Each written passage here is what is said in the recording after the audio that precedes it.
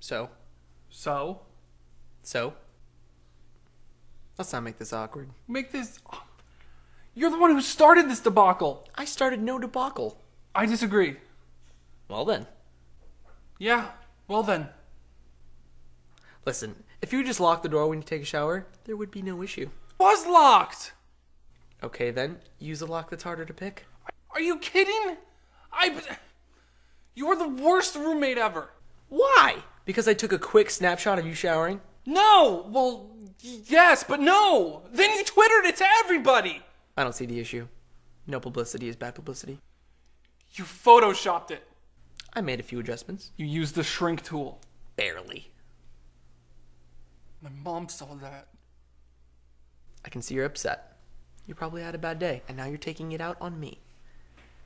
And I understand. Bad day because of you! Let me finish. I'm gonna be the bigger man here. Forget it ever happened. And walk away. We can talk again when you get your head on straight. Good day.